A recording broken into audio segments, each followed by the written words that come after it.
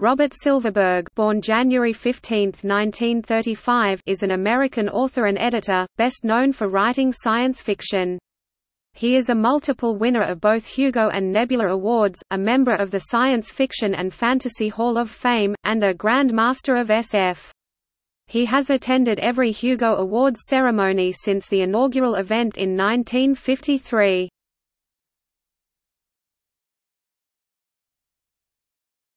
Topic: Biography.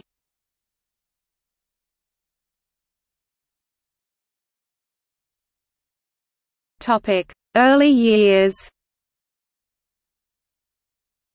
Silverberg was born to Jewish parents in Brooklyn, New York. A voracious reader since childhood, he began submitting stories to science fiction magazines during his early teenage years.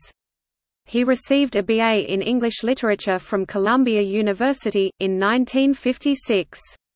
While at Columbia, he wrote the juvenile novel Revolt on Alpha C 1955, published by Thomas Y. Crowell with the cover notice, "...a gripping story of outer space."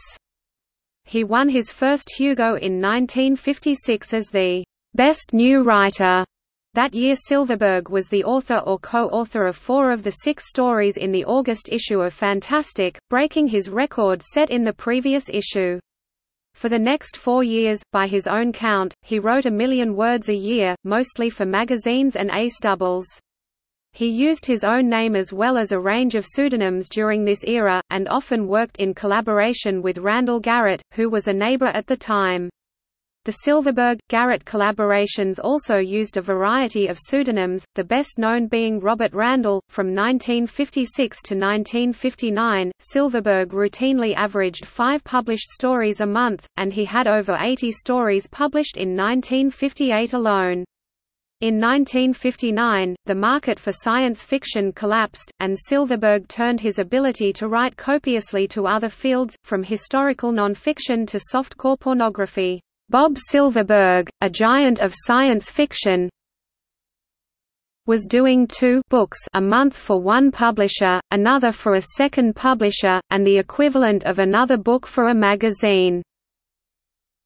He was writing a quarter of a million words a month, under many different pseudonyms.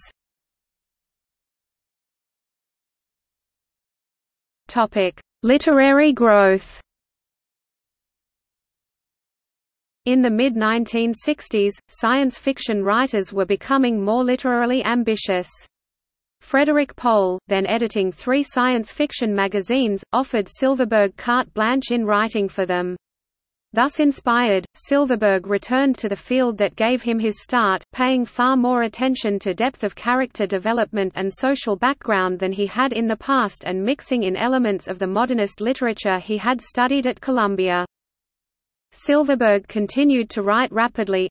Algis Budrys reported in 1965 that he wrote and sold at least 50,000 words, "...call it the equivalent of a commercial novel," weekly.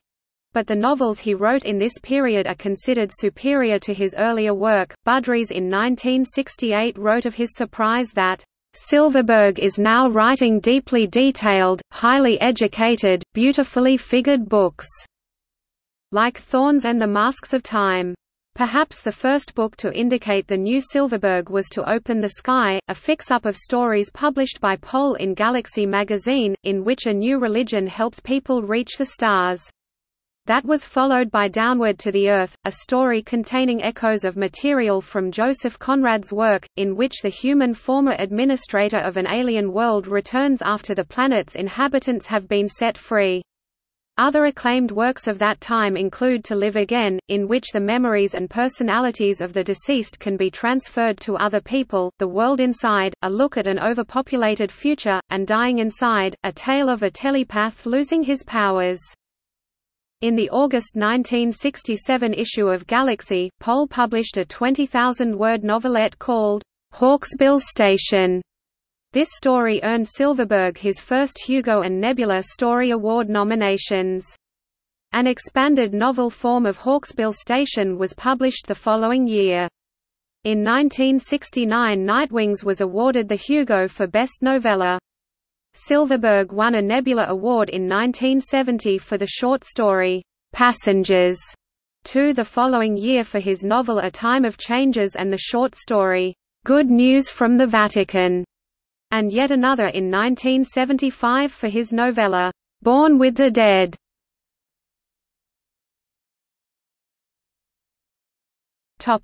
Later developments After suffering through the stresses of a major house fire and a thyroid malfunction, Silverberg moved from his native New York City to the West Coast in 1972, and he announced his retirement from writing in 1975.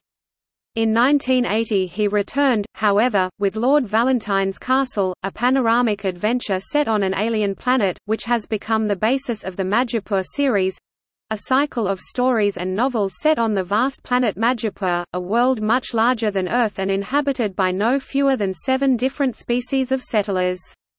In a 2015 interview Silverberg said that he did not intend to write any more fiction. Silverberg received a Nebula Award in 1986 for the novella Sailing to Byzantium, which takes its name from the poem by William Butler Yeats, a Hugo in 1987 for the novella Gilgamesh in the Outback, set in the Heroes in Hell universe of Bangsian fantasy, a Hugo in 1990 for Enter a Soldier. Later, Enter Another. The Science Fiction and Fantasy Hall of Fame inducted Silverberg in 1999, its fourth class of two deceased and two living writers, and the Science Fiction and Fantasy Writers of America made him its 21st SFWA Grand Master in 2005.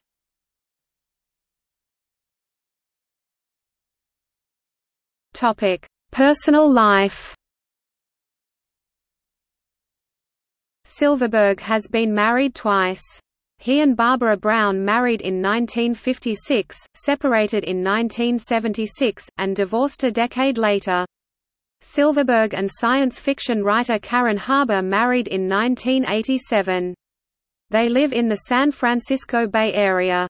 Before the age of 30, Silverberg was independently wealthy through his investments and once owned the former mansion of New York City Mayor Fiorello LaGuardia.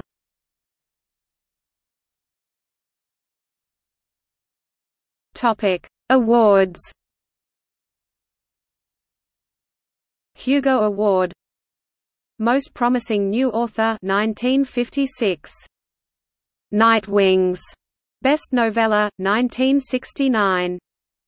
Gilgamesh in the Outback. Best Novella 1987. Enter a Soldier. Later, Enter Another Best Novelette 1990 Locus Award.